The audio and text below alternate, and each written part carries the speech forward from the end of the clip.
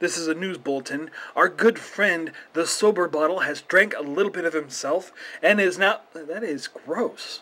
Anyway, now he's almost drunk. I think he's buzzing a little bit. I shouldn't be walking. I shouldn't be walking. I shouldn't be. Hey, everybody. What's up in the house?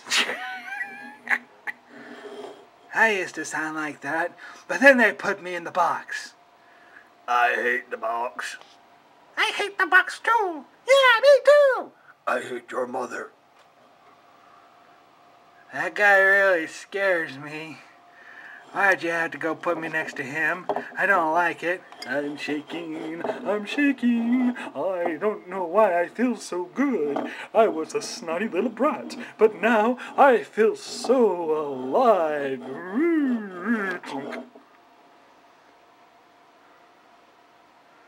Anyway, so, uh, my good friend, Drunk Bottle, uh, what's going on?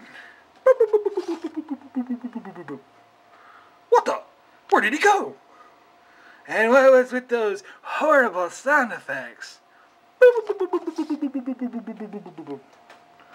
Another one escaped. They're dropping like flies. Who have had too much penicillin? Or the H1N1 virus?